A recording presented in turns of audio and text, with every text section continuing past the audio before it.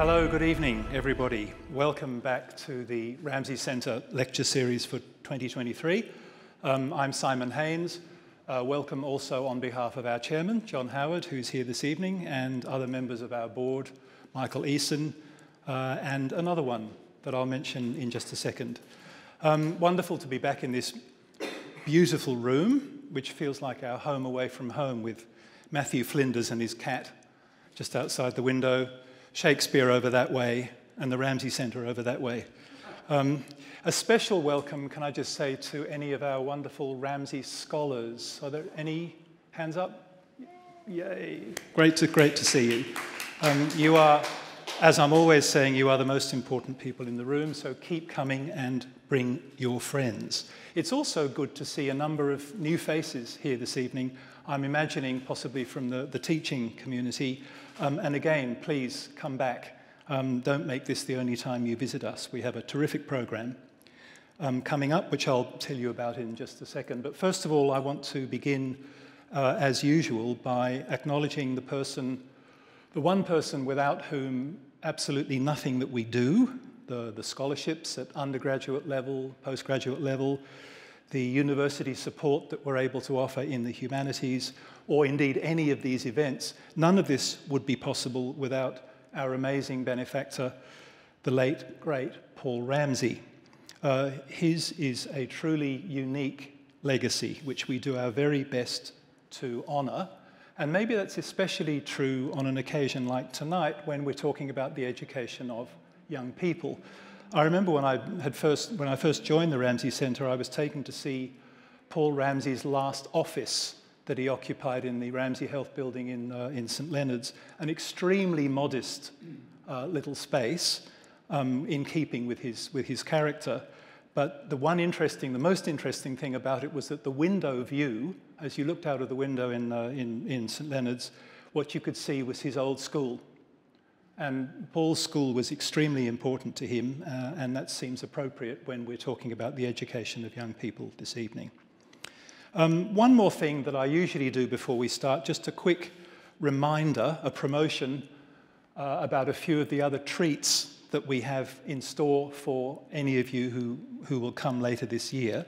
Coming up next month on the 21st, we'll be hearing from the Melbourne scholar and public intellectual John Carroll, uh, a prolific writer on Western civilization. And this time he's going to be talking on the theme of um, who will save us now. His latest book is called The Savior Syndrome. And he'll be thinking about Western civilization as being characterized by a need for savior figures to give meaning to life. And that chimes in quite well with an online talk that we've got planned later in the year by Professor Remy Brague, who is at the University of Paris. Uh, he is one of today's most eminent historians of philosophy and thinkers about the nature of the West and he'll be talking about, uh, in, in English, not, not in French, he'll be talking about his famous book, Eccentric Cultures, A Theory of Western Civilization. That'll be in October.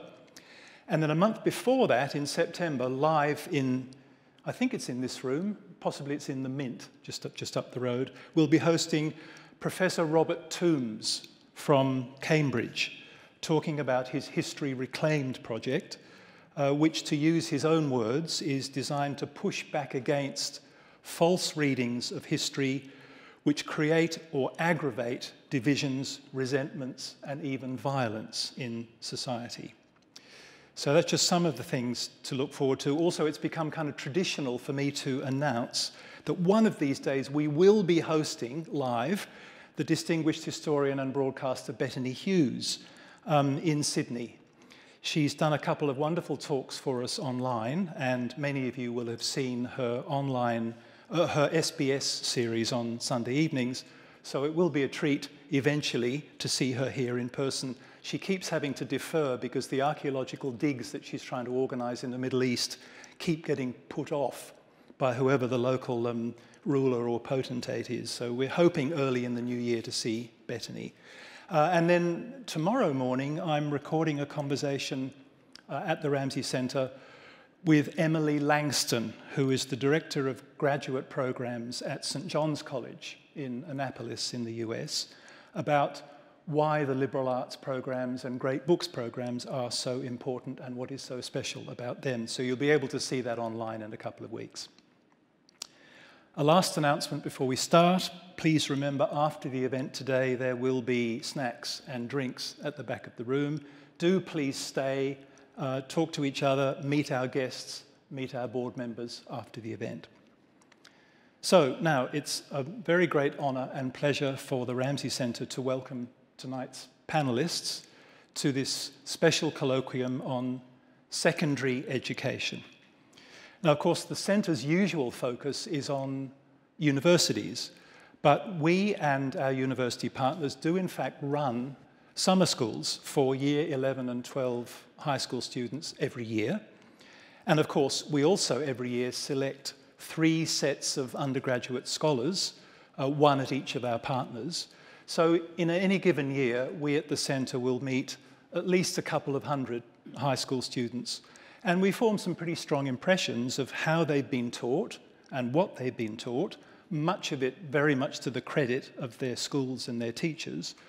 But that contact prompted us to send a submission to last year's Curriculum Assessment and Reporting Agency, ACARA, uh, review of the federal school curriculum, where we expressed some concerns about a almost overwhelming focus on three cross-curricular themes that seem to be crowding out too many other important themes to do with uh, our Western cultures and institutions. They, they were being a bit squeezed, we thought. But we also read a lot of the submissions from the teachers and that gave us a very clear impression that there was something quite difficult going on in schools in terms of levels of frustration, um, levels of feeling swamped, um, as well as of feeling very committed uh, on the part of teachers to what they were doing. Anyway, all of that experience got us thinking that irrespective of what your views may be on any of these issues, it might be good to put on school-related events more often, since the centre does have a broad remit to advance education in general by promoting studies and discussion associated with the development of Western civilization. And obviously, it's in the schools, primary as well as secondary, where the foundation is laid for what young people and future citizens think of themselves and their society and the wider world that they will inherit. So, with that background, we've been extremely lucky in persuading three most distinguished speakers to join us on the panel this evening to talk about secondary education laying the foundation. And the format that we'll be using is that each speaker will talk for about five to seven minutes about an issue in secondary education that seems of special importance to her. And then each of us on the panel will ask a question uh, and then at the end, and then it'll be the turn of the next speaker. And after we've heard from all three, there should be plenty of time for further questions from anybody from the floor. So let me now just briefly introduce our three distinguished guests from this end to that end. So starting with the first speaker, because this is the order that you'll, you'll speak in if that's okay. Uh, the first speaker is Elena Douglas the founder and CEO, and by the way, I'll introduce all of them now and then save your applause for the end. Um, founder and CEO of Knowledge Society, uh, a social purpose business that designs and delivers school improvement and research to impact programs for Australian schools, universities, and research institutes. Elena has led the establishment of Advance Global Australians in New York, as well as the Centre for Social Impact at the University of Western Australia, uh, the In the Zone conference series, and also she's led the Faith and Globalization Initiative, which is a partnership with the Tony Blair Faith Foundation. Uh, Elena's perspective is shaped by her career as an economist, an entrepreneur, and an historian. She teaches philanthropy so we're going to have to mind our P's and Q's at the Ramsay Centre. She teaches philanthropy at the UWA Business School, and she researches 18th and 19th century conceptions of virtue, economics, and ethics. And then our second speaker is Dr. Sarah Golsby-Smith, uh, Head of Learning and Teaching at PLC Sydney, uh, one of Australia's oldest and most respected girls' schools. Sarah is the practicing teacher on the panel this evening. She's taught English in secondary schools for over 20 years. She's taught in government and independent schools, in co ed, boys and girls schools, and has enjoyed all of those spaces to teach and learn. She's published work on literary theory and its relationship to pedagogy, on the new rhetoric, on Shakespeare in the classroom, particularly close to my own heart, Sarah, um, on the poetry of Gwen Harwood, ditto, um, and on theological considerations for the teacher. And her abiding interest, her vocation, I suppose I could say, is in the importance of the classroom as both a civic and a holy space, as she puts it, where truth is both made and discovered. Beautiful. And our third speaker, Elizabeth Stone, is principal of Queenwood School, another long established, very distinguished girls' school in Sydney. Elizabeth sits on several boards, including the Association of Independent Schools New South Wales and the Ramsay Centre for Western Civilization. In fact, um, Elizabeth, I think you are the first board member ever to appear on the podium at one of our Ramsay Centre lecture. Yet another first for you. Um, she took up a Rhodes Scholarship and then completed her Masters at University College, Oxford, where I also taught many years before you were there, I should say. Um, uh, she later moved into teaching and taught mathematics, first in Sydney and then in the UK, uh, returning to Australia in 2014 to take up her present role at Queenwood. Uh, and then, remarkably, she will be returning to the UK in September 2023 as, and I'm using this word advisedly, headmaster of Winchester College, because you're called headmaster there, right? Um, the first woman and first Australian to hold this position in 640 years, uh, in one of the oldest and most distinguished academic institutions in the world. Extraordinary. So, um, uh, enough introduction. Please welcome our three panelists.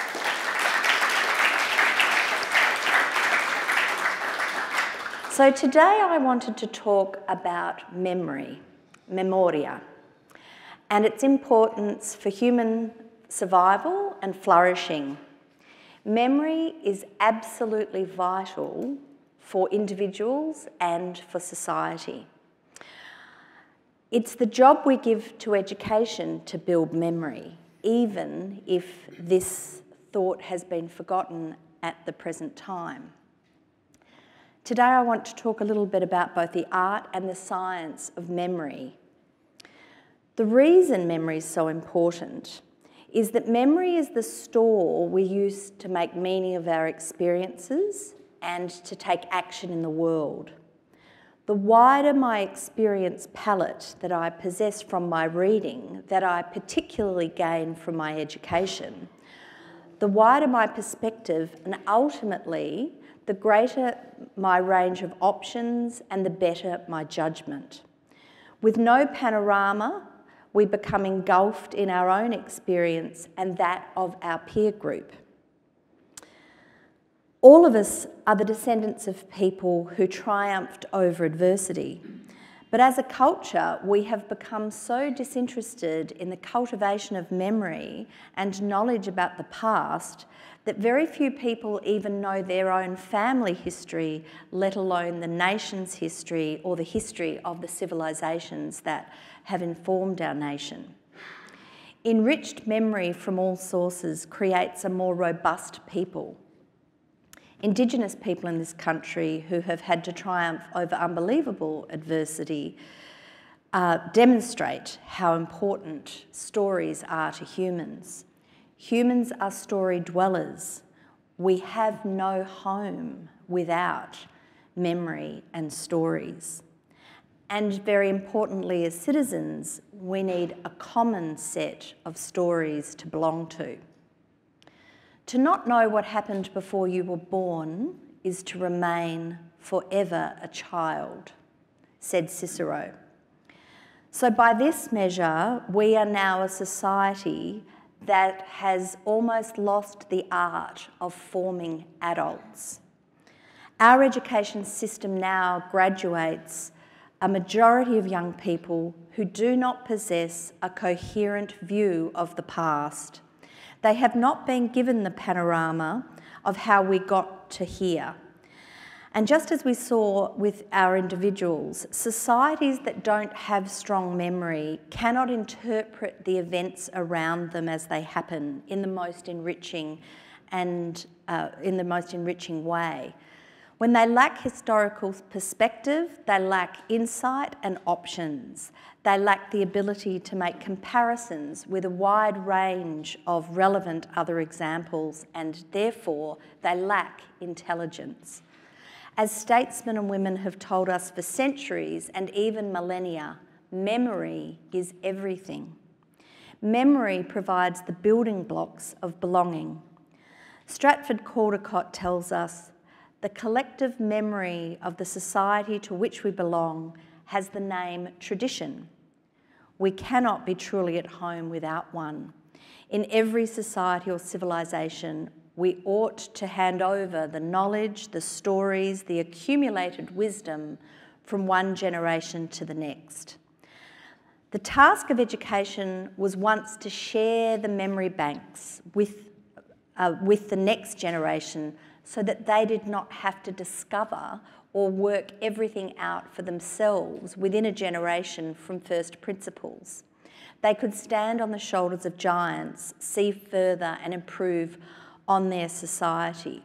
But as I'm sure we'll get into tonight, something changed in both our approach to curriculum and our approach to pedagogy. Curriculum, what we teach, pedagogy, how we teach. We stopped believing that our purpose as educators was to hand on inheritance, the inheritance. And that's, um, there are loads of wonderful teachers who are very much inspired by that, that um, mission, but they have sadly, I believe, become the minority. Our education system at some point embraced the ideas of constructivism and skills based education. Teachers started giving up on knowledge. Memorisation started to be demonised as rote learning. Teacher led instruction started to be demonised as the sage on the stage, whereas the idea now is that you're meant to be the guide on the side and that the child should lead their instruction through their own motivations and interests. There's also a view, a very, very wide and pervasive view, that children don't need to know things. They don't need to know facts, events, concepts, or panoramas, schemas of understanding, or disciplinary knowledge. That we're told they can just Google it. But memorisation and teacher led instruction remain the most effective and powerful tools we have as educators. Let's take a maths example. Many Australian primary schools, we fear it is now most, are no longer teaching times tables to mastery, as was the practice in prior generations. Now, you cannot do algebra or geometry successfully, let alone higher order maths like calculus, unless you know your times tables with absolute automaticity. And you know them off by heart. Knowledge builds on knowledge. High school desperately relies on primary school and so on. There is no way to solve the problem of shortages of engineers and maths trained students at higher levels of education unless you have a population that has learned their times tables by heart. Let's turn to the science now of learning. So, um, times tables is just one tiny example. So, the science of learning.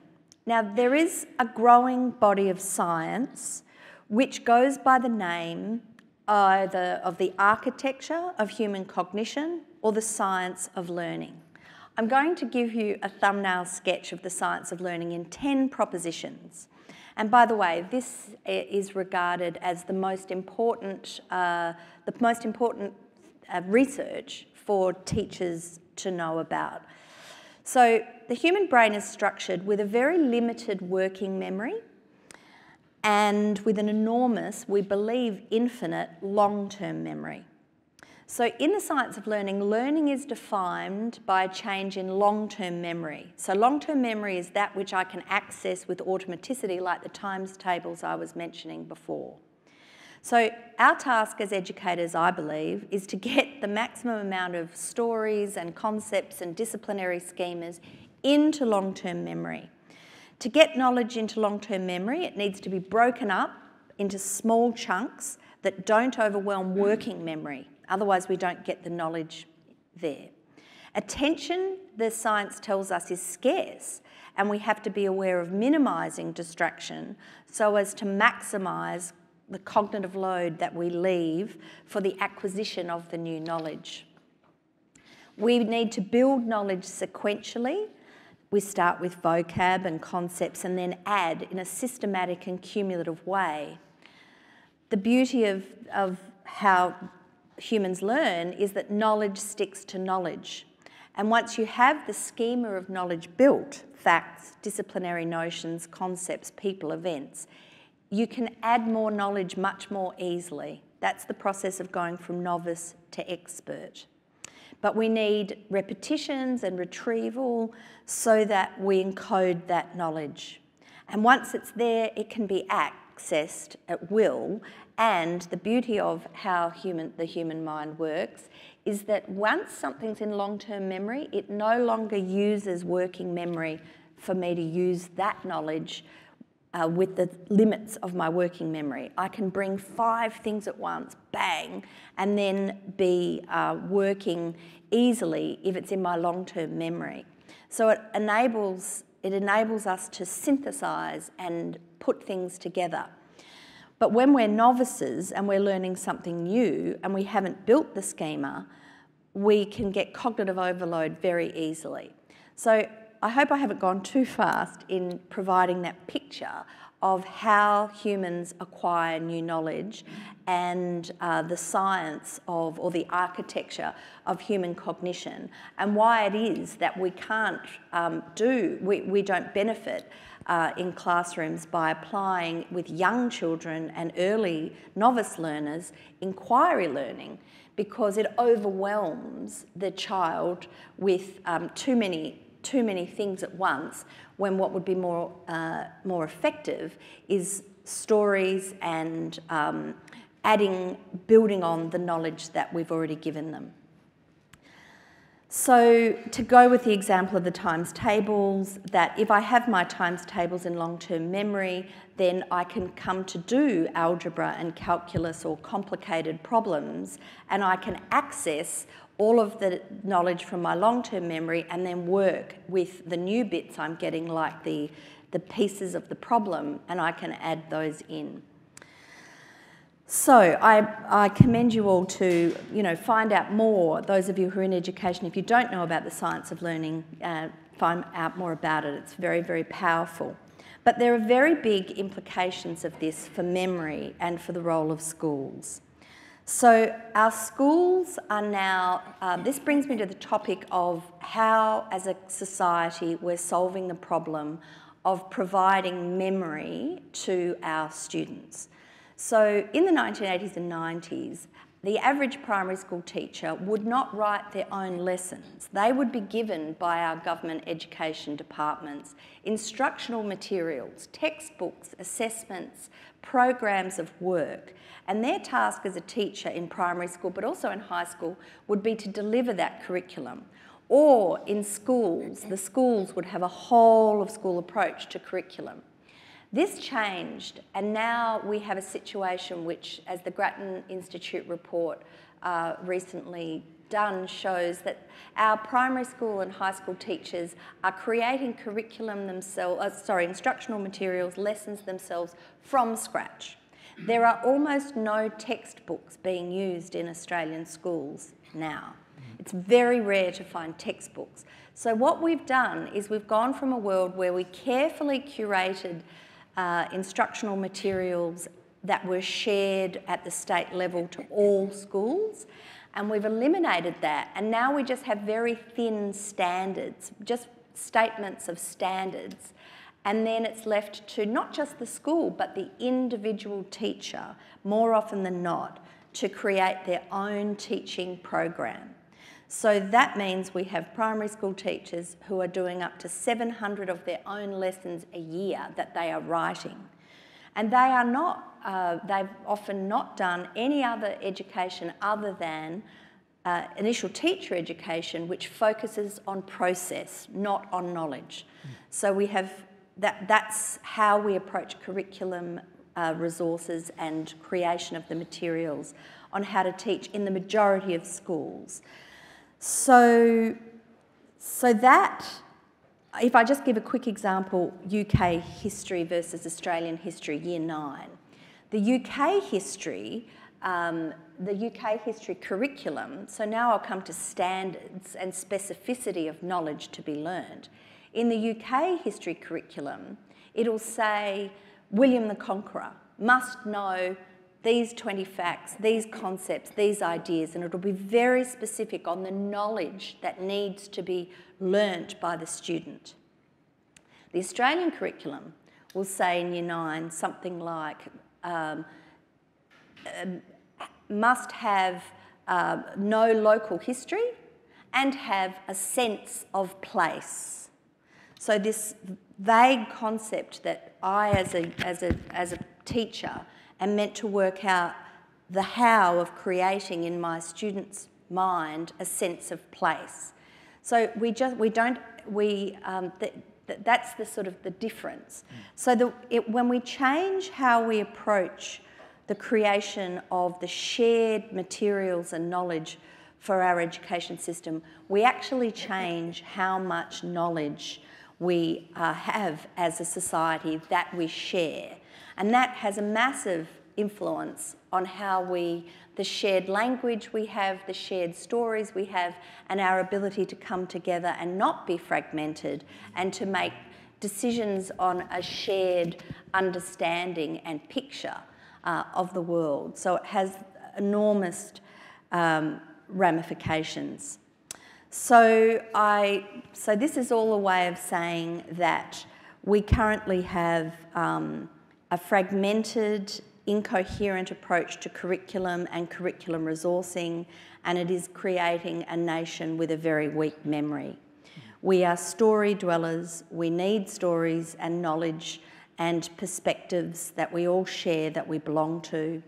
And um, there's a lot of people now arguing internationally, Nat Natalie Wexler, E.D. Hirsch, Daisy Kristen Christodoulou, and in Australia, Jenny Donovan from the Australian Education Research Organisation, Ben Jensen from Learning First, Jordana Hunter from Grattan, Ochre Education, Teach Well, and my colleagues at both Primary Focus and Knowledge Society and the Centre for Independent Studies, and we're all arguing that Australia needs to return to very rich instructional materials provided to our teachers from primary uh, and high school and uh, a knowledge-rich um, approach um, with quality uh, materials and support and scaffolding for our teachers and that will improve um, our memory banks.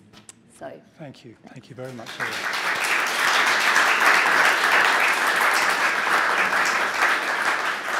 Now it's, it's over to your fellow panellists if they have any questions that they'd oh. like to ask you.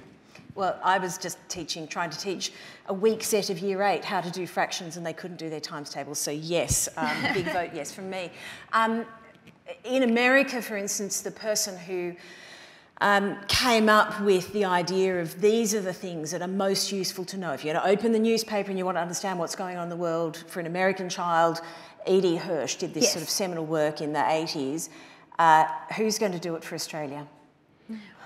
There, there's a, a, posse developing. Some of the mm. people I mentioned amongst this group, I think we do, we do want to. I think at the moment, particularly Ben Jensen and And I um, uh, are very keen to create the coalition of the willing to fund and do a core knowledge approach for Australia. Mm. So, you know, at the moment, we don't think um, people like Jordana Hunter from Grattan Institute who know this has to be done has given me advice that she thinks it would be very difficult now for a state government to, to do what it did in the 80s mm. and 90s, that mm. actually the political issues around curriculum would be so intense that a state government wouldn't be able to technic- not technically pull it off, politically pull it off. Yeah. So that it's likely to need to be um, a, uh, a pretty rounded and, and cross-section group of educators, mm-hmm. so it won't be able, you know, need to be quite uh, reflective of Australian uh, community, but done, uh, done separate to government and given back as a philanthropic gesture to the nation. Mm. That's. Yeah. Could I just add? I know you've got a bit. Um, the other day, a, a, couple of weeks ago, in the ERRR podcast by Ollie Lovell, um, and Ben, Ben, yeah. ben did a fantastic yes. uh, sort of two, three hour conversation. But anybody who's interested in um, how the awful sausage is made of the Australian curriculum, mm. that he, he sets it out beautifully. And I think it would be shocking to almost anybody who's not quite expert in this to understand how much it is a political process rather than an educational one. It's quite, quite shocking. Mm. Um, hmm. so. Hmm. Sarah, did you want to? I think the question I have is um, you, you, spoke about um, knowledge existing um, outside the child. Um, and the question I have probably comes from John Dewey's Child in the Curriculum, which yes. I was quite fascinated by as a younger teacher. Um, I can't remember how I stumbled on it. Um, it's not long. but, but the idea there is that true knowledge can be formed not by viewing those two things as a dichotomy, but a continuum, as a kind of a conversation where there's a tension in between them. So there's the things we want the child to learn, and then there are the child's questions, which yes. generate a conversation. I'm just wondering if you could, are, are they a dichotomy, or can we view them in conversation and useful tension? So I've got two answers to that. One is that because I'm a, a science of learning person, we make the distinction between biologically primary knowledge and biologically secondary knowledge. So there's so many things. So, for instance, family folk history. I think that is every child's birthright to know three or four generations back of their own family. It just, it just, no child should not get that. That can't be done at school. It's not to be done at school. It's a family thing. So there's so much knowledge that one should attain from outside of school. But what we need to focus on at school is biologically secondary knowledge. So biologically primary knowledge, by the way, is speaking and listening and story and singing and you know these things that all humans have done long before the invention of schools or even you know Plato and Aristotle's lyceums, like just things that are natural to humans. So any learning that can fit into that is the Dewey learning and is really rich and important. Whereas the, the purpose of the classroom to me is a little bit of that, but mainly it's the biologically secondary knowledge. It's that which I can only attain if someone helps me control my attention and focus me on this particular thing. And that then we as teachers have to teach in ways that holds that attention. So that, that's my answer. That then you're, it's sort of, you're teaching the things that, like times tables, it's, it isn't as, I don't think it's as fun as family history, but I have to learn it if I'm going to, for instance, you know, I do a lot of work in equity, and if we want to close the equity gap, we have to teach kids maths at the very highest level in the very poorest schools. Mm-hmm. And I have to be able to teach those kids times tables. Mm-hmm or if I just wait to the things that they want to construct and they're interested in, I, I can't get them the good jobs. And can I throw in a comment there? Just to, you know, we, we, teach every year eight kid Pythagoras' theorem. You know, a squared plus b squared, squared equals c squared. Every year eight kid can grasp it. But Pythagoras was a genius. You know, that was the pinnacle of a lifetime of achievement and hundreds of years to lead up to it. Um, if we sort of try and put them in some kind of number sandpit and wait for them to come up themselves. Yeah. Realistically, they're not going to do it, right? Uh, and year eight's well and truly over. So we, we've, there's just times you've got to teach them, right? Yeah. Of course, of course, and I'm not suggesting But that, that there's not question. times to teach it. No, I guess I'm um, probably I'm framed by the fact that I'm an English teacher, and so I'm wondering. I suppose my follow-up question is: Are there epistemological considerations as to what type of? Su- it, it, does it depend on what subject you're teaching? For instance, in my subject, which is English literature, Yeah. um, So maybe just thinking about the time, maybe if you'd like to do your, Yes, your, your piece, yes. Sarah, then we can go back to this at the end of that. yeah, I'm just Okay, I'll wondering if come there's ba- I'll come back, epistemological. uh, come back to Does that. it ch- shift? yeah. Yeah. Yeah. Over to you. Okay. Um, I was talking to my dear friend Will Christie, who um, suggested that I begin by saying that what I'm about to say probably comes from what I have been telling my staff is a teacherly imagination. um, that although I have done research and published research, that my interests have come from the classroom. The questions I have are from the classroom and couldn't have been imagined in any other way. So I'm going to tell some stories today. Um, and so I guess I'm saying that it is both what I am saying, but the way I've come to it that probably captures uh, what I'm interested in. Um, so this, this story began at the beginning of the year, and I guess I was harried, and I had had parents, and I had come from the classroom, and my phone rang, and I picked it up. Um, normally, I'm very polite on the phone, if you should ever call. Um, but, this person called and said, Would I like to come to a conference on evidence based practice?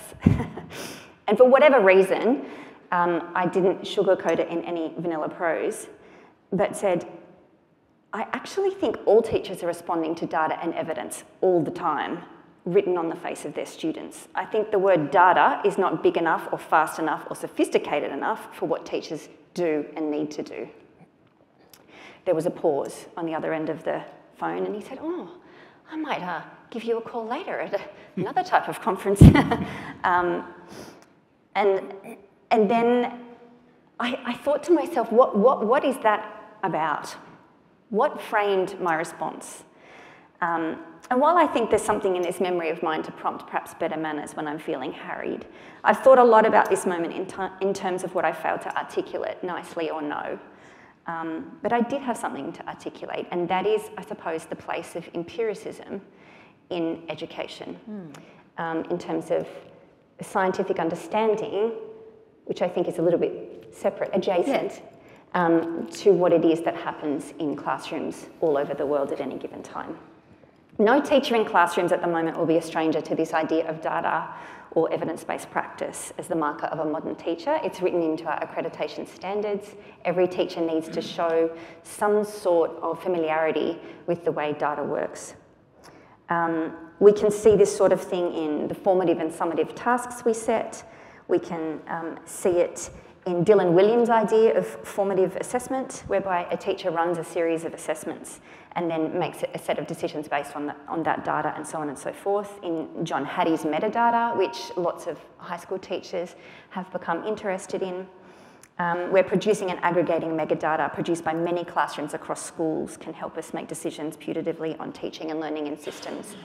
Um, we can see it in the, in the centrality of standardised testing um, at all levels of schooling and the concomitant anal- analysis of that data. Um, and we can see it in the metric that universities use to admit students into university in Australia. Um, and as I said, we can also see it in the way teachers are accredited. Um, I wish to say, first of all, that I, I do believe in data. I think data is important. Um, analysing how students perform on informal and formal testing occasions, it's vital information for any educator interested in a young person's growth or in the growth of our young people today. Absolutely, teachers need to be able to respond to data by considering different pedagogical options available to them so as to provide ways for their students to grow and learn, of course. But the question I want to ask today is is it a good enough tool to situate the entire work of what a classroom teacher does? is there a system of thinking behind the call for data and evidence based practice that is big enough to capture what it is we do? I think you can probably guess that my answer is no. Um, when I was a much younger woman um, and hadn't actually enrolled in a Bachelor of Education yet and was toying with other sorts of things to do, I encountered a similar idea in another setting. Um, it was an introductory class on psychology, my first year of university, and the lecturer had put up a slide called Human Perception. On the following slides, he had diagrams of the human eye with all the associated terms for each part. And the idea was that if we could analyze the way a human eye worked, then we could ex extrapolate from that to work out psychologically how human beings put perception together. I was sitting on the left hand side of the lecture theatre because it was the closest to the exit at the time. um, and I remember turning to my right and seeing the light of the overhead projector on the lights of my on the faces of my fellow students. And all of a sudden it occurred to me, are we asking the wrong question? Look at all those perceivers looking at the act of perception. Look at all the eyes looking at the eye. How can we talk about what it is to perceive without first acknowledging that we are perceivers in the simultaneous second that we ask and frame that question? I stayed in psychology long enough to know what the response to those questions might be. If we winnow out the taintedness of human perception by running randomized tests, by running anonymized trials, by aggregating data, by calling on statistics, which seem to have the pattern of that arm's length evidence, and striving at all times for objectivity, then we can decrease the chances that our findings are sullied by our own perceptions as human beings. The trouble with this, of course, is that it doesn't ever fully take the human question out of the affair. Under the lab coat is a human body in time and space, what the philosopher Heidegger called thrownness. Nor does it prove the validity of the assumption that having the human question in the mix sullies anything. In other words, this line of inquiry was based upon the idea that scientific ways of knowing were sufficient and appropriate to the question being posed. But what if it isn't. Hmm. At this point, I want to bring the object of our interest into focus, where I have spent most of my day today. A classroom full of students. Brand new human beings, not quite formed, confident one day, anxious the next. Um, some of these human beings who tell stories to each other, some of their families tell stories to them, some of them don't. Some of these stories are true and some not. Um, some of them come from different ethnic backgrounds, some from different socioeconomic experiences, some have had breakfast that morning, some have not. And this is all before we talk about the teacher in the room who brings with, with her all of these variables, plus the richness of years of experience in the classroom.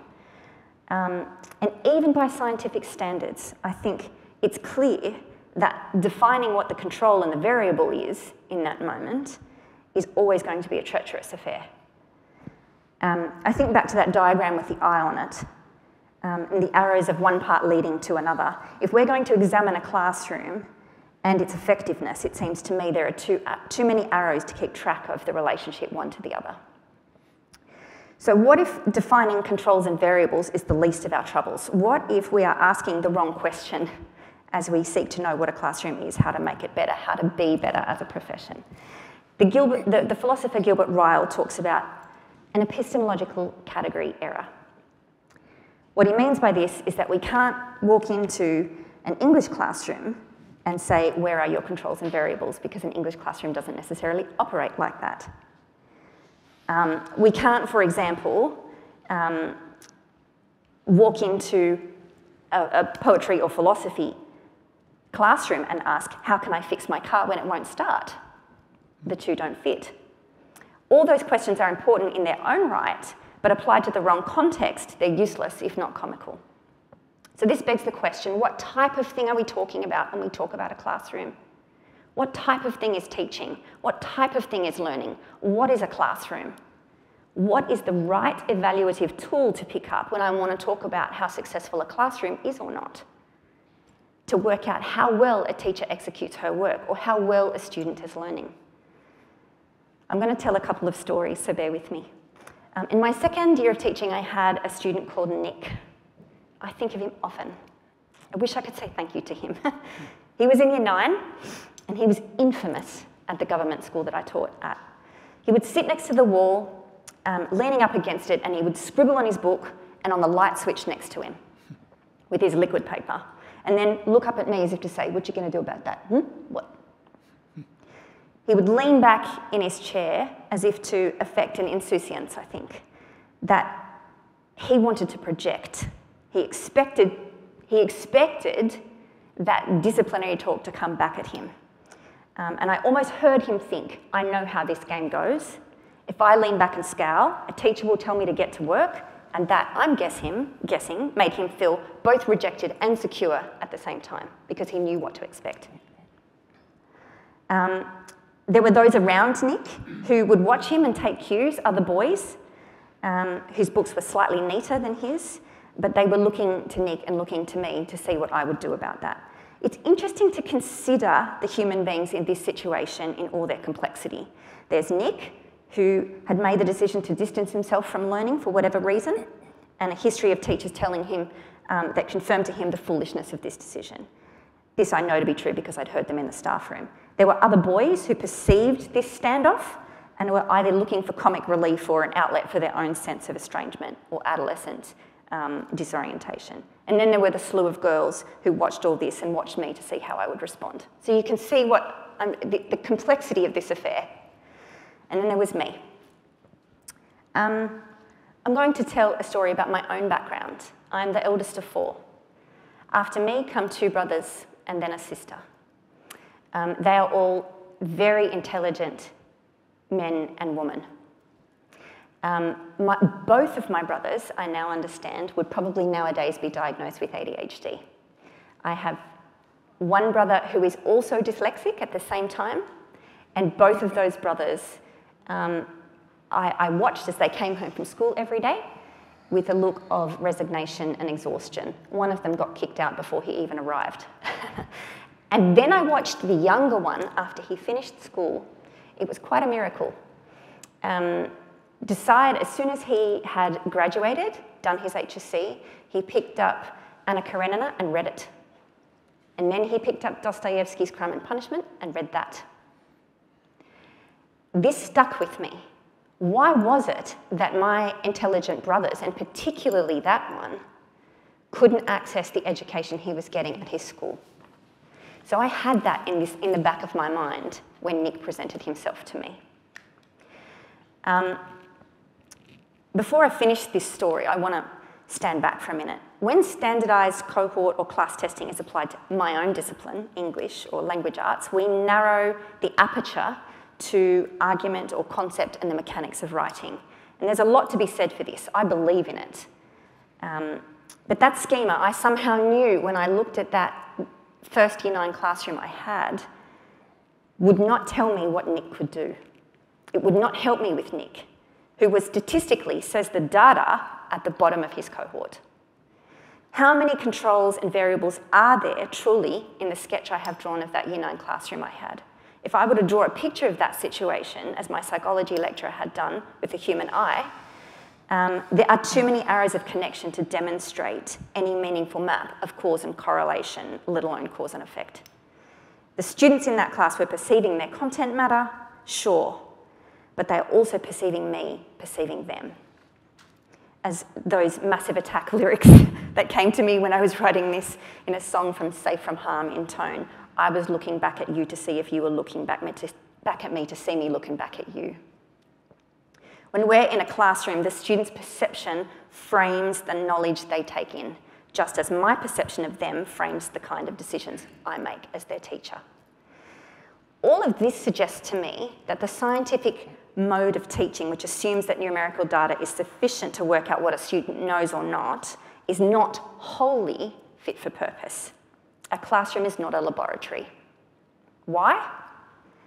I think perhaps our answer might begin in ancient Greece. um, Aristotle gave us three categories of knowledge episteme, or scientific knowledge, techne, or skills and crafts, and phronesis, or practical knowledge, which is applied to where things, where things can be other than they are, or the thing studied is moving and fluid or decided upon by human beings who get together. It seems to me that education is this third category, phronesis, where we decide, either by devilish committee or otherwise, we decide what it is we are going to do in that classroom. It occurs to me that in our, in our modern world, we've used, we have assumed that episteme is sufficient to cover all kinds of knowledge, explaining why we try and apply the pattern of scientific study to markets or human behaviour or classrooms. Um, and there are not a few commentators who would say that the first of these was Rene Descartes, who committed the first of our inherited epistemological category errors by assuming that episteme could account for all human knowing. Mm. But as we can see in my second year of teaching, the thing I was apprehending was in no way fixed and cannot be other than it is, which is scientific knowledge. In that case, applying the set of tools that come with scientific knowledge, a model that comes with controls and variables and extracts the, and extracts the human perceiving out of the equation to keep data pure, is wholly misplaced. There are so many moving parts in a scenario that I had in front of me, and that is, that is all not to mention that the scenario was watching me too. Hmm. The category from which I think classrooms come is then phronesis. It's a world wherein possibilities are endless, and the outcome of classrooms is not neat enough to behave in a linear like fashion. What did I do with Nick? Well, to tell that story, I'd have to tell the story of another boy, and I will try to tell it quickly. The year before, I had inherited, so Nick was my second year. In my first year, I had um, a group of 30 children in year nine, um, and they were difficult. Um, I also, I was 23. I remember a boy called Stephen. I remember him so well. I couldn't find a way to connect with him. That's why I remember him. Um, I remember the resentment written all over his face and being unable to find a way to communicate with him. I also remember him because one day I had the whiteboard marker and I was using it as a conch and I was passing it around trying to get a conversation going. And when I threw the conch or the, the whiteboard marker to Stephen, he threw it back at me hard. What he was saying was, I'm angry. It wasn't throwing, it wasn't passing a conversation. And I knew in that moment that I had failed him. If I could see him today, I would apologize. that class stood still and they held their breath, watching what I'd do. I can't actually remember what I did. It can't have been too bad because I didn't have to go and talk to the deputy principal about anything. but my point is, is that in teaching Stephen and in thinking about what I had done and what I had done poorly and what I had not understood, changed what I did with Nick the following year. What I did with Nick was I left him alone for six weeks. And when, I, when he and his friend were talking and disrupting, I asked the friend next to him, sorry friend, to be quiet. Then I put my fingers on his desk. And then I just stood with my body close to him so as he would know I'm close to you, I know what's going on, but I'm not going to call you out in front of everybody else. He wasn't ready to learn yet. Then slowly, he worked out that I wasn't ever going to call him out or humiliate him. Finally, I would move around the room and I would look over his shoulder, and when he got something right, I'd say, exactly right. And then in a classroom conversation, I'd call him out and say, Nick, tell everybody what you think. And slowly, he got a sense of himself as a learner. I don't tell this story to say what a wonderful success I have been as a classroom teacher. I tell it because that success was built on failure, actually. Nick's success was actually built on what I learnt from Stephen. Classrooms are incredibly complex rhetorical spaces. Um, and I guess what I want to say is that my success in classrooms, such as it is, is only because I have submitted to the relationship in the classroom, to the rhetorical nature of it. My subject matter, my students, which shift every year. And so I would actually say that I do write out my classroom, my, my, I do create different lessons for each group who come through, um, who teach. T- I, I teach TS Eliot every year. I've taught it for five years. This is something exciting.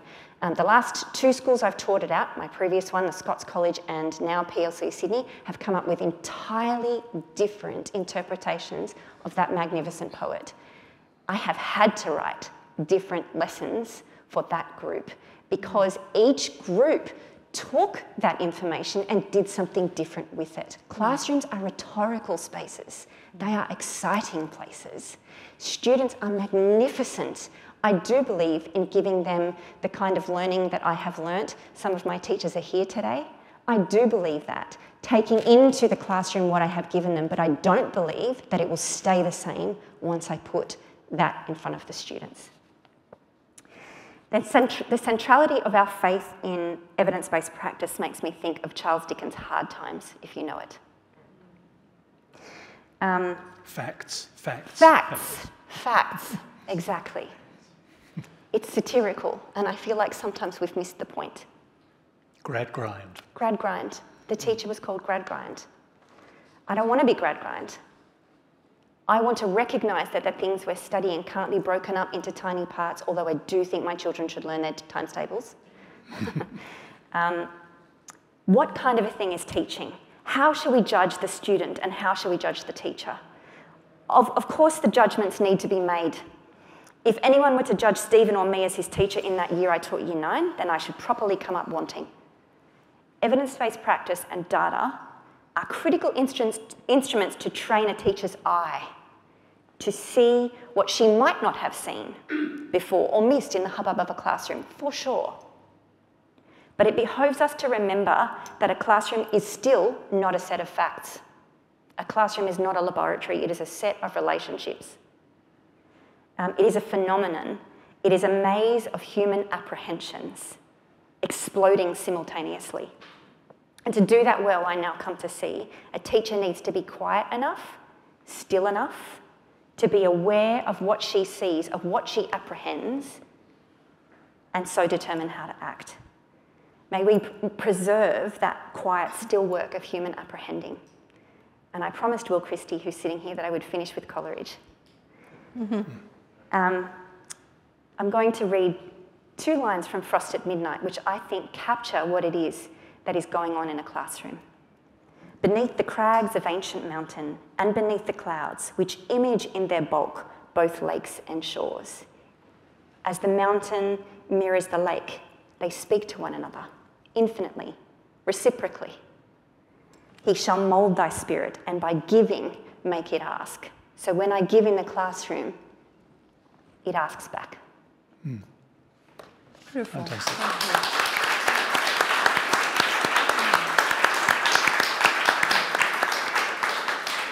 Sarah, this is marvellous. I, I, feel that I'm representing data that's at this okay. point because I have to keep an eye on this. Sorry. Um, um, no, no, no, no. that's fine. And maybe we can, the panel can come back. Well, perhaps very quickly. Uh, yeah, just, yeah, just, just to um, ask if are we compla- uh, conflating evidence-based practice, mm-hmm. which is understanding the science of human cognition, and then doing our teaching cognizant of that and data collection. So, in the evidence based practice that my colleagues and I promote, the most important data is the child, uh, is the mini whiteboard. So, being able to see that the child has, not, uh, knows what you've just taught them.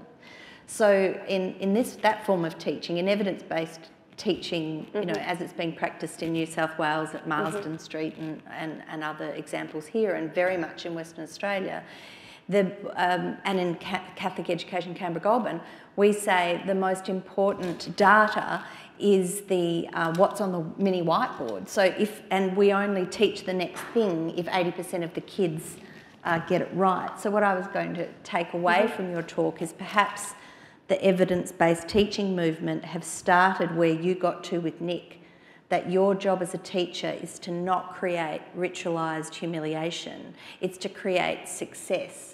So the way we teach in evidence-based teaching is that you don't teach them, you teach first, then you ask the question, and then the kids tell you the answer.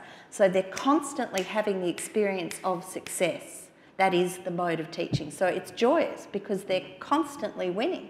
And that, but they're learning because you're taking responsibility for the repetition and the retrieval that encodes their memories. And there's lots of chanting and singing and, and learning by heart. So you're creating those conditions that you beautifully and deliberately created for Nick.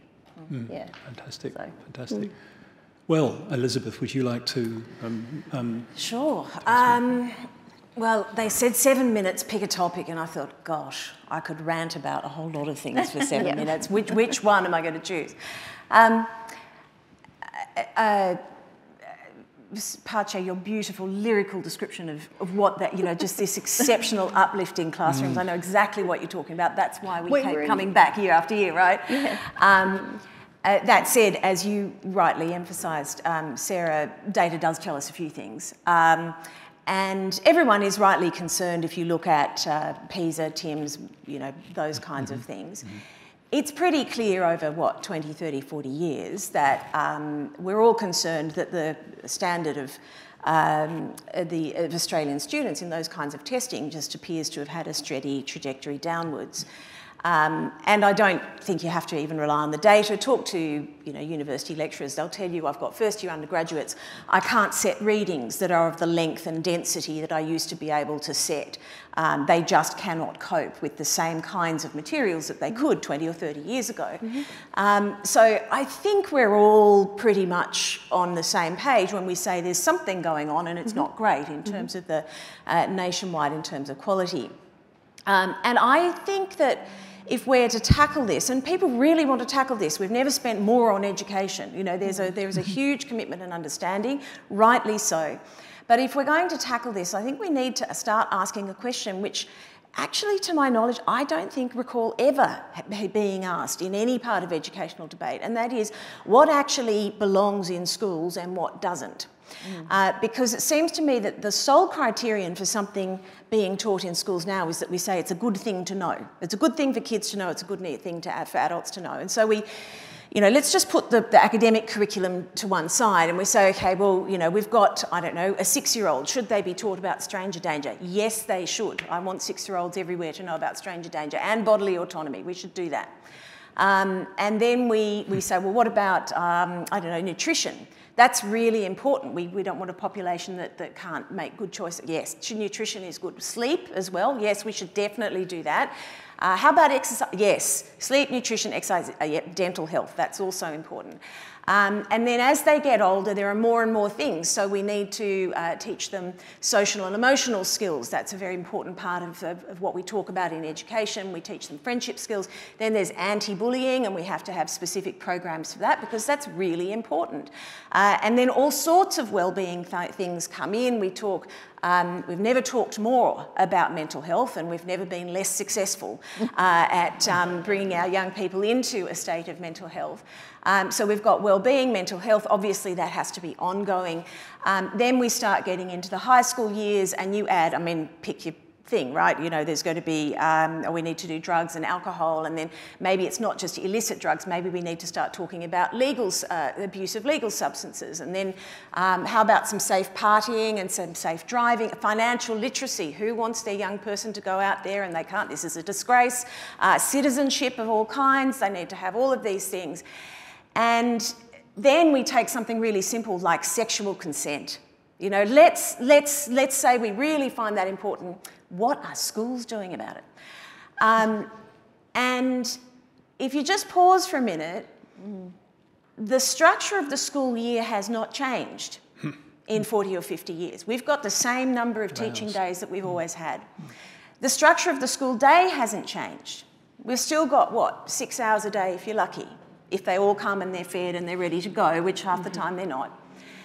Every minute that you take to do these super important topics, no one's disputing that they're important. Every minute that you spend on that is something that we're not spending on the academic core curriculum. Um, and don't forget too, we're not just talking about classroom time and where students are directing their attention, we're also talking about where teachers are directing their attention. Because every one of those programs somebody has to create a curriculum for it. Mm. And some teachers like that.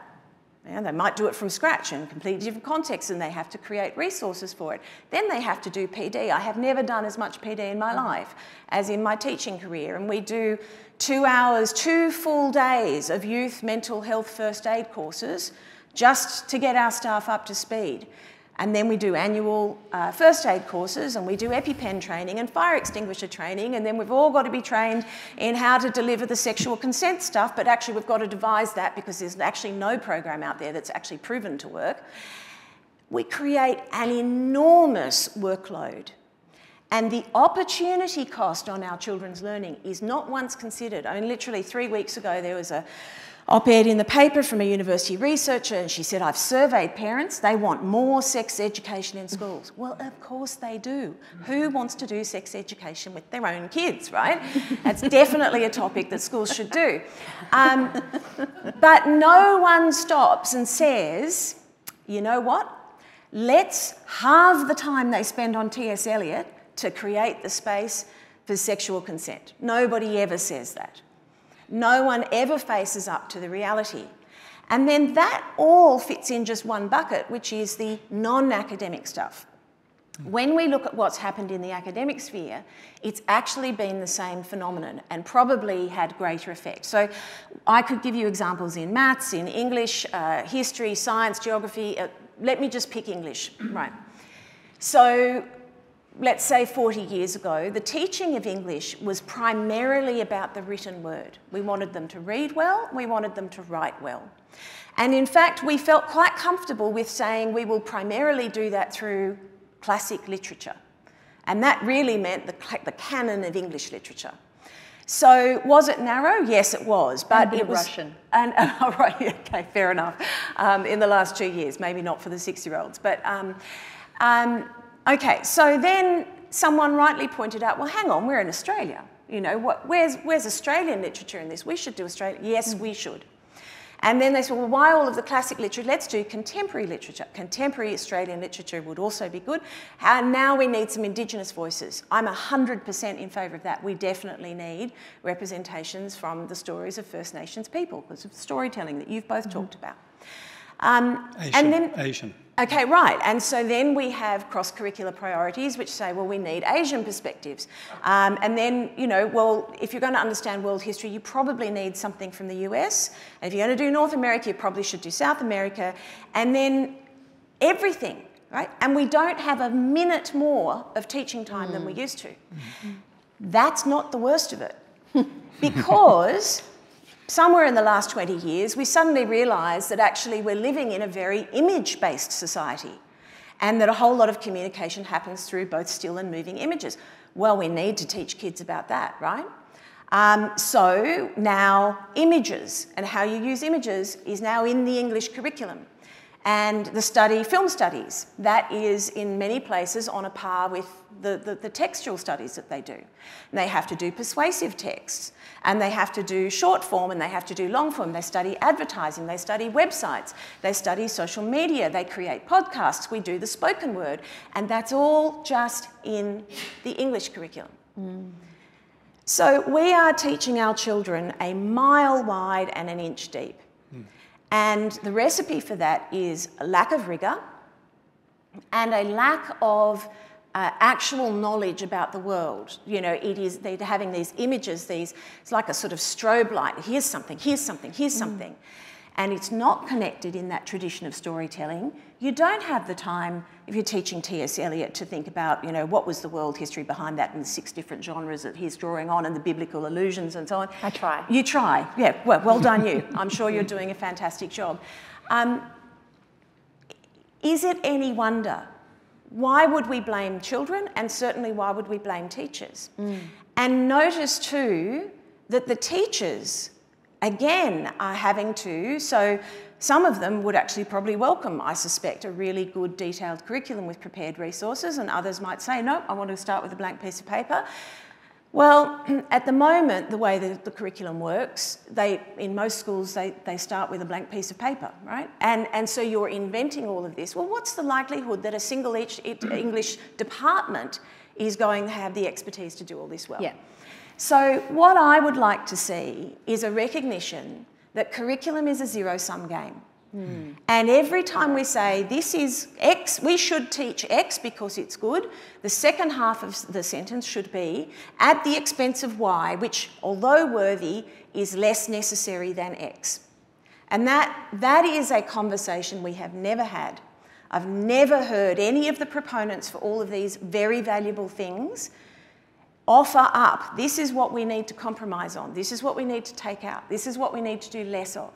All we do is more, and in the end, that means we do less. We're obsessed with the problems of misinformation and how, you know, critical thinking. You cannot think critically if you don't know anything. You don't even know that you should be looking it up. That's why the Google thing doesn't work. And the best protection against misinformation and all of that stuff that we're trying to protect them on from online is actually knowing something about the subject matter. Mm. And they don't. Right, here ended the lecture. Wow. Well done.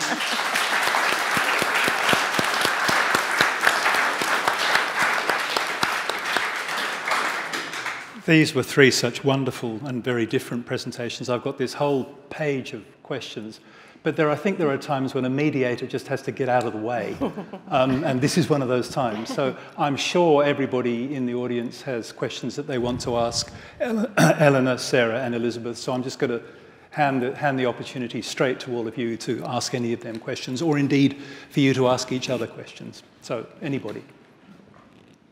Uh, thank you so much. Um, I think that one of the things I take away very quickly is, is the complexity of all of this mm. uh, and that classroom teaching is. Um, but I really appreciate the, the eminent reasonableness of this conversation. And I'm wondering why the reasonable conversations happen in small rooms mm. uh, and they are so drowned out by the um, unreasonableness that is plaguing us in our schools and the um, pressure on schools to behave in ways which I think most teachers by far do not want to behave. Um, mm. what, what is causing this, which is so great, to be so totally drowned out?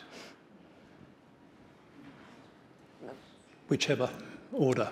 I was at a, um, a conference earlier in the year where what was under discussion was one of the spicier, at least in the Australian media at the moment, the spicier um, topics being discussed, the pay for teachers. And there was a representative of the Catholic schools, a representative um, from the independent schools, and a representative from the government schools. And the question was thrown to the panel um, what what should we do about the pay for teachers? And the microphone was thrown to the, uh, the head of the independent, the representative of independent schools, and she leaned forward and said, I think we should pay all teachers more. and nobody knew what to do because she had made the case for the person sitting to her right and the person sitting to her left. So I think there is more agreement in teachers. I actually do think that there's a real collegiality among teachers because, because this is a vocation. Yeah. I, I act, we're trying to serve students. That's what we're trying to do. Yeah, I, I'm not sure I quite understood the, the reference that you were making. I mean, if you look at EduTwitter, um, mm. where decency goes to die, right? Like you're not going to get, um, uh, you know, huge quality debate there. Um, but you do get some really interesting references. Like I, I use it quite a lot to mm. hear what's going on in the world. Um, look, I, I think, um, you know, teachers, we're all human beings and um, I would say that, that as part of my uh, teacher training, my university education for teaching, um, I really wasn't exposed to the sorts of basic knowledge that Elena was outlining. That, that was something I had to discover for myself long after I qualified. Uh, and um, when you don't so uh, part of this comes back to constructivism, right, and relativistic thinking, mm-hmm. um, which is so if, if we sort of said, look, there, there is an objective truth out there and we're all on a search to find it and we've all got to have some epistemic humility because who am I to say that my view is necessarily correct and yours? Um, but at least we could agree that we're all trying to search for some truth that lies outside us. If you go into relativistic thinking And, and we are kind of saturated in that kind of thinking in our society, where all judgments are, all value judgments are equal, and who, you know, what right have you to tell me what I should be doing or preferring? Then, um, you know, a la Nietzsche and so on, or everything just becomes an exercise of power. And so, if you are a teacher who doesn't understand that there's been really good quality research which just shows how the human brain works, which is not to say we know everything, right? Like, mm. no one can tell me why year nine, last period, Wednesday afternoon when it's windy, is impossible. I don't know why that, there's no MRI scan that's going to tell me that. But there are things that we do know. You know, we, we know that some things will work better than others. But if you haven't been trained in that, and you are instinctively attracted to the Rousseauian kind of look, all children just get out of the way of the learning and look a six year old and ask them what they can do with a paperclip, and they've got 500 things, and you ask a grown up and they only have 23, and we just happily overlook the fact that the six year old is going, I can use it as an antenna for aliens. Um, that's not useful, right? Like, but if, if, if, that is instinctively attractive to you, that we just kind of get out of the way of kids and let them sort of soak it all up and have these brilliant conversations, and then we'll all be talking about Aristotle and become um, become themselves and become themselves, right? Um, then if I come into you and go, actually, you know, that may not work, it just sounds like an exercise of power. It's like, well, you like teaching that way and I like teaching this way, and who are you to tell me? I do think there is a missing underlying um, disciplinary knowledge yes. um, that, that is really hindering the debate. Because if you don't understand that, um, and, and it, it, at the beginning of my teaching career, I knew instinctively how I liked to teach. Uh, and I learned afterwards that some of it was in line with actually how kids learn and some of it wasn't. And I had to sort of have some humility and change the things that needed to change. But it helped that I understood that it was coming from a research base. Um, and that still doesn't tell me what to do with year nine last period on a Wednesday afternoon. All of the relational stuff that Sarah was talking about comes into play. But until we get that knowledge in the profession, it is largely missing in my view, then it just comes down to um, a, a, sort of a, a, power exercise about I like my, my method better than yours. And I don't know if that's helpful. I thank you. It was. Uh, I just wanted to add to that that so we really do have what Thomas Kuhn called in the structure of scientific revolution two paradigms. So we have a constructivist um, paradigm. Um, the aforementioned Rousseau, and that the job of education is to allow the natural child to emerge. And then we have um, the what you might call the evidence-based paradigm or the knowledge the knowledge-based paradigm. And that is very little at the moment. So there would be there's 9500 schools in Australia and there might be 100 who are who are focused on the knowledge rich um, more evidence-based approach. So I think the unreasonableness comes from that when you've got two rival paradigms, they actually can't speak to each other. They speak over each other, and so we're in we're in that um, that situation. Could I add one further point, which is that a lot of the time we talk at cross purposes because we're mm-hmm. trying, and this maybe is maybe this resonates with you, Sarah. We're trying to apply. Um, or we assume that when someone makes a statement, it has universal application. Mm-hmm. So you talked about biologically primary and biologically secondary. Another way I might explain it to people is just beginners and advanced, right? A beginner learner. So let me take a tennis analogy. You want your kid to be the next um, uh, um, Ash Barty, um, and you, you say, I want my, my child to win Wimbledon.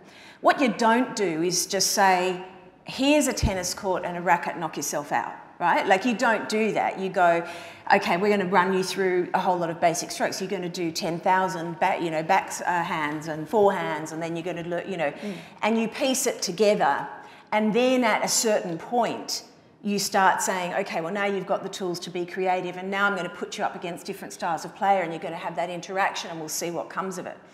Um, you know, when you were talking, Sarah, about, you know, we, we have to you know, respond to who's in front of us. I might do, do deliver completely different lessons. You're operating a high level because you're That's talking correct. about I'm stay, right. You're a high school teacher, and you're mm-hmm. talking probably year 10, 11, 12, maybe sometimes um, and and probably pretty literate kids and all of that. Um, it's no surprise that Elena, when she was using examples, might have picked on times tables, which eight, you know, seven and eight year olds do, right? And so kids move through a progression, and I think there is a false dichotomy. Yes. Because people say, um, oh well, if you are all about um, developing knowledge and you know you should memorise and stuff, they, they think that you're saying that at all ages and stages, which is not true. Um, and or people say, well, it's all about the interplay and relationships and, and connecting it with their own lives and the incredible conversations and who they are as human beings and the, the spiritual act of engaging in these things together. Um, that's great, but it's probably not going to teach a seven-year-old when they use a capital letter, right? So I think a lot of the time the heat comes out of that too, because we're not precise enough about the classroom things that we're describing. Very helpful, Elizabeth. Thank you. And I, I think that, that, the other thing I would like to say is that, um, and I don't know that it necessarily is teachers themselves who use um, an either or way of thinking, but, but if, if education is phronesis, if that is the best way to think, then actually the words we use need to use are if, then, or I wonder, or um, and, or th- those sorts of. Th- I think I actually think that we will get the best case scenario in Australia when we can learn to have a conversation about it. I would have thought education has to be episteme, techne, and phronesis. At moments, yeah. Yeah, that the classroom is an environment where it's a, it's all three.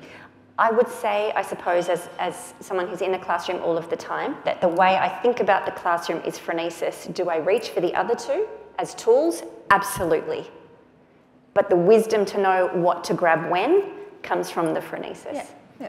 You, do, you don't think that the history of um, education and education theory since medieval times has been one of phronesis getting slowly, slowly squeezed to I death absolutely think by that. the other two? I absolutely And think we've that kind was- of got to the end point I of should have that. got you to speak, Simon. that was exactly what I was trying to say. But episteme, but episteme is not uh, data. So episteme No, is no. not the scientific No, it's method. pure- it's pure knowledge, Episteme is truth. theory. So actually, I would have thought, and you know, the Catholic intellectual tradition would be that um, that in the Catholic intellectual tradition we have ratio and intellectus.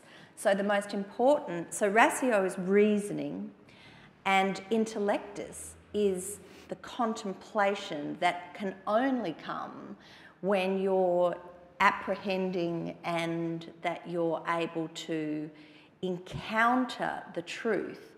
So it, it, it's different to reasoning. Uh, Josef Pieper describes this beautifully, and that in the medieval tradition, that was what we had as education, that one had to cultivate young people who were able to do both uh, ras- ratio, rationality, uh, epis- ep- ep- um, empirical and uh, reasoning, but also intellectus. And I would have thought that what's happened in our modern education also? system, and also, And also, yeah. yeah, and what's happened is that we no longer have any place for intellectus, for that, um, in, that more intuitive. I mean, poetry is intellectus. And Elena, you don't think that the, the, the, um, the, the two paradigms that you mentioned a minute ago, Yeah. there's actually just one, and then a group of a small group of dissenters. No, I, I, Uh, yeah, I think In other words, the knowledge rich, constructivism- so within the yeah. knowledge rich family, can I just say, in the UK right now, the debate has shifted and talked about the science of learning people that we're into process too. So the constructivist people are into process, and it's all about the social construction of knowledge. And that they're accusing us, and I think it's fair. That's why I'm getting into this intellectus um, piece and episteme, that you have the deep knowledge um, because otherwise we're just about process too. Science of learning is just about how the human learns. It's nothing about what we should learn. Yeah. Thank you. There's a question at the front. Thank you. I'm Paul Burgess. I'm actually from PLC Sydney as well, so thank um, Sarah and all of you for the work that you've done. All of you are referring to intermittently to philosophy and theology. Um, at our school, we have a philosophy and theology course in years 9 and 10. There's a, the IB has a theory of knowledge course. Oh, awesome. Is there a place in schools for a higher level thinking course for students Yes. that help to help them to um, take the types of positions that all of you have taken tonight? Well, my finish the sentence, Paul. What do we take out? yeah, well, yeah, that's yes, but in a sense, some of the, actually, I think it fits Elizabeth actually with the core of what you were saying, that the curriculum should be king, and therefore we, this is the baseline for helping students to think and know, rather than um, allowing them to just have islands of knowledge.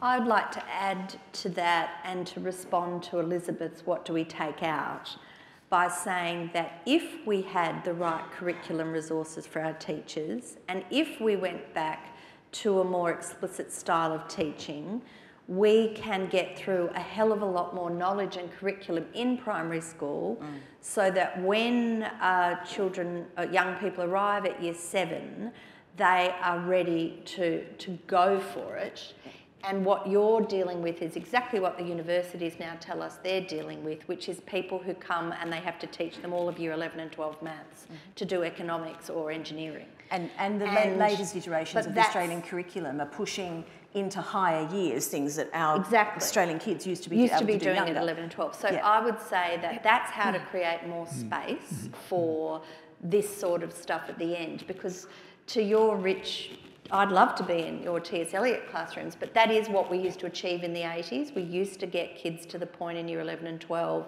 where they were writing their own plays at, that were rich and brilliant and discussing great literature. They had built enough from the nursery rhyme stage all the way through and, and that, that they could go there in year 11 and 12. Well, outside of the private schools, that you're not getting, you used to get that and you're not getting that now at the population level, and our kids deserve it. Uh, mm. there was a, there's a question in the middle here, yes. Thank you. Uh, speaking as a parent of uh, three teenage kids, I was struck by my journey up Hunter Street to this event this evening. I was called in to referee a debate between my 14 year old son and his mother about whether he could go to football training tonight because he had too much work to do. Last week, his 12 year old sister in year 8 was up beyond midnight four nights on the trot because she had so much schoolwork to do. Mm. Once till 2 a.m., once till 4 a.m. we push back and we discuss this with the school, and they're saying, I think to Elizabeth's point here, there is so much they're being asked to yeah. do. Mm. They don't have the time, don't have the bandwidth to be efficient, so they just push so much stuff out of the classroom onto the children. Mm. And, and, I'm angry because this is their childhood that's been taken away from them. Agreed. Mm. Um, this is putting untold pressure on them. Yeah. And resource isn't there. I guess my question mm. flowing from that uh, is: are actually parents uh, being tapped as a resource in a way they could be and potentially should be to, to share some of that burden? So many of the things you talked about, the examples you gave about consent and sexual education, all of these things, online safety, is there, is there a way that we can just take some of that away from the schools and equip parents and go round the side? And, and if so, who does that? Who takes responsibility? Who resources? Who helps the parents do that? Well, I, I, think it's the law of unintended consequences, right? Because um, any commitment to, you know, equity between students of different parental backgrounds says some of them will have access to parents who can deliver this and mm-hmm. can't, some won't. Um, and uh, you know, I'm all for equipping parents. We try on various things to do that, but I think you are fighting against a couple of things. Um, one is that um, the kids with most need probably won't have the, the parents who will turn mm-hmm. up and do that really well. Um, so I understand why that's gone there. Also, I don't actually think te- schools are particularly good at it, right? Like, it's not, it's not our skill set, it's not what we're trained to do, and we sort of take it on because we see a need. Um, so I don't have the answer for you necessarily on that, but I do think there's another broader social trend um, which is, again, we just used to be more confident. And, I, you know, I, I, sometimes wonder, is this also the slow creep of relativism in, in, in life? Because, you know, we've got to value our children and they're young people and, and they've got great opinions. And, you know, parents used to go, oh, shut up, you don't know anything, right? And, and it was over. Uh, and now it's a knockdown fight and we've got to justify it and persuade them. And, it actually really, parents lack an enormous amount of confidence. Um, I, I um, an anecdote, when I first became a head of a school, I avoided telling parents what to do because I thought, oh gosh, you know, I haven't been trained. Like, what? Who am I to say? Anyway, in my sort of weekly newsletter, Home to Parents, I soon discovered that the most popular ones was where I basically scolded them into parenting uh, and said, just say no, and this is normal to insist on a bedtime, and they're all going to say that their, you know, ten-year-old friends have smartphones, and it's not true, and you don't have to fall. And they would contact me, and go, oh, what a relief. And then they'd contact me and say, could you make it a school rule that they're not allowed to have smartwatches? Because I just bought her one for Christmas, but I don't want her to wear it. Uh, that's a real example, right? Um, and so parents used to feel so much more confident about saying, I am the wisest person in this relationship. I may not be perfect, but I've probably got more to offer on this issue than you do, seven year old. Um, and we really have societally undermined that. Mm. Um, so I, I, don't have a great answer to that. Um, but I do, I will throw in one thing, which is I think the pernicious effects of technology. Um, there is no data anywhere which convincingly shows that the high use of technology in schools leads to improved learning outcomes. Mm -hmm. There's a good, good chunk of data which says it actually decreases learning, and there are little pockets maybe where it helps. But for the most part, now when you think how we've invested it, how that is the norm, and I was in a school once where we said that the um, students could have access to all the technology they wanted during the day in the classroom, teacher could control it, but the homework now had to be set without using technology. It had to be pen and paper. Mm -hmm. Well, this transformed things. Yeah. And I was in a very good school with great colleagues, but I can tell you if I'm feeling really under pressure and I've got to set homework and I'm, uh, you know, I haven't got time to do it properly, setting them something like write 200 words on parasites is a really quick and easy task and they can just go home and Google, right? But the kids don't know what they're doing. So they end up with something that's suitable for third year biology students and then they try, you know.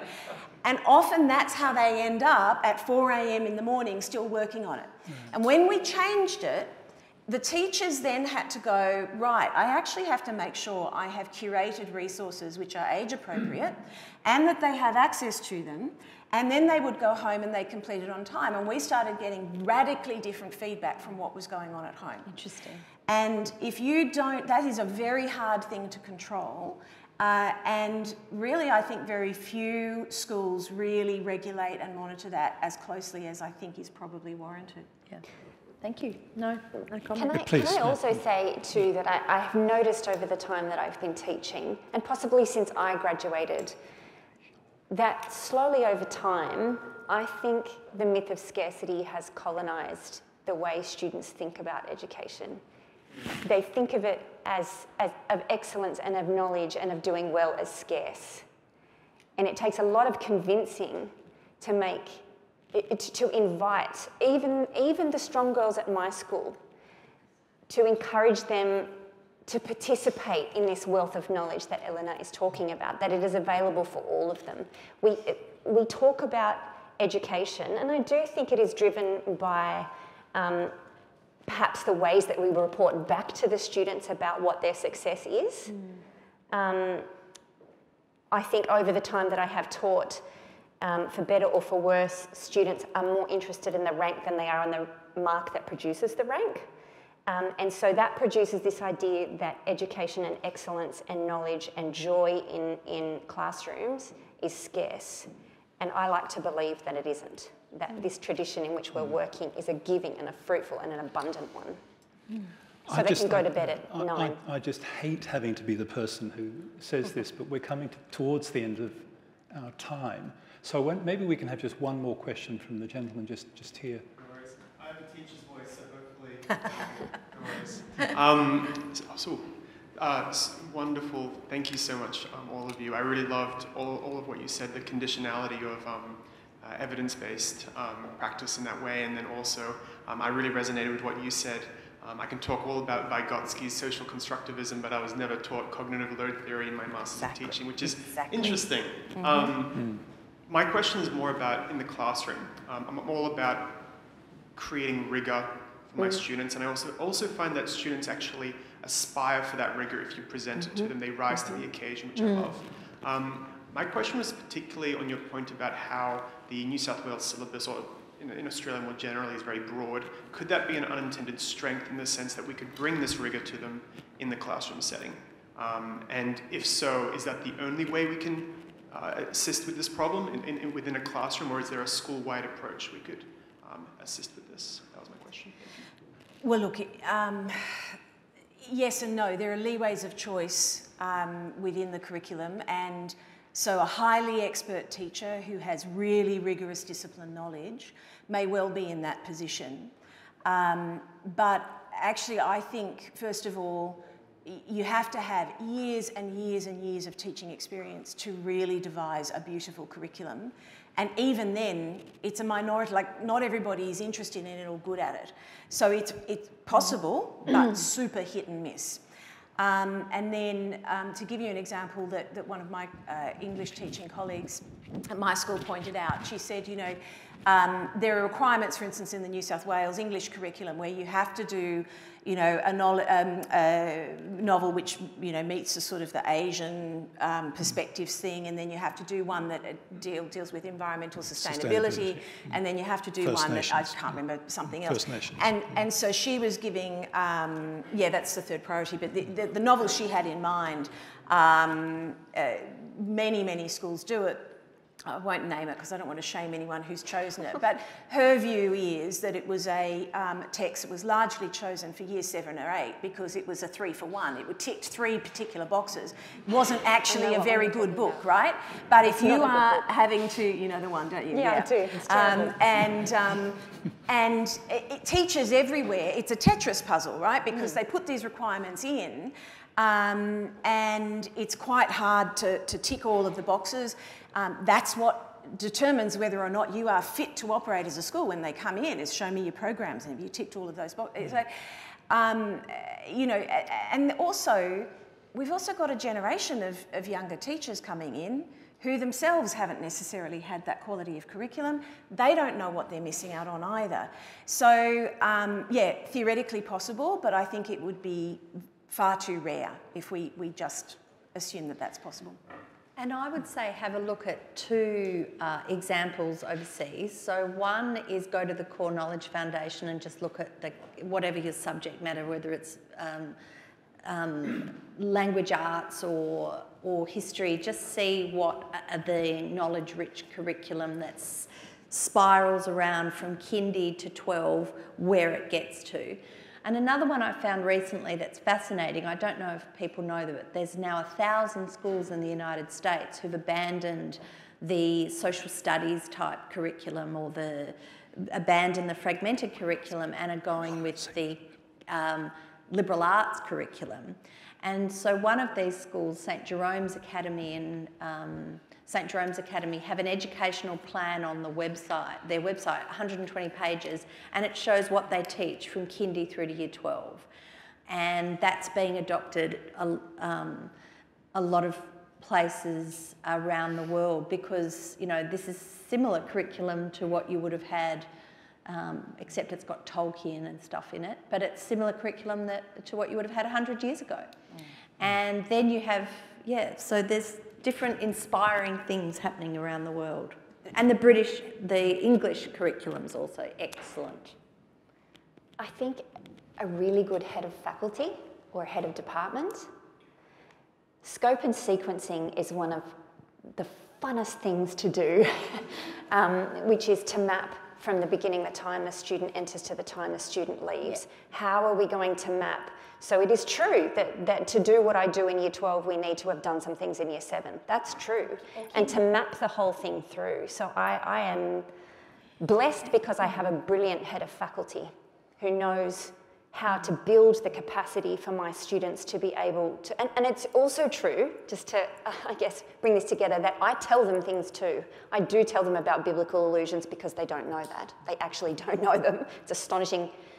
The, the lack of, they didn't know David and Goliath. I had, it's one, shocking. I had one looking at a, at a picture of the Virgin Mary, and she said, "But Who's it does." She said, "Does it look like Madonna?"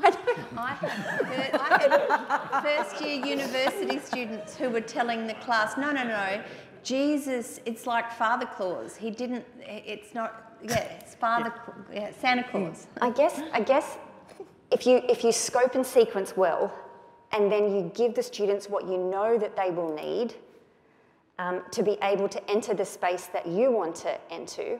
I sometimes say to my students um, when, when they come into my classroom at the very beginning of a course, there will be a point in this class, and it won't be until the end, where I will sit down.